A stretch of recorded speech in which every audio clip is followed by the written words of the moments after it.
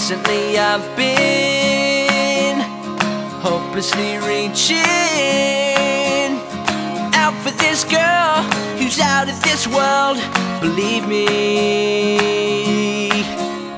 she's got a boyfriend. He drives around the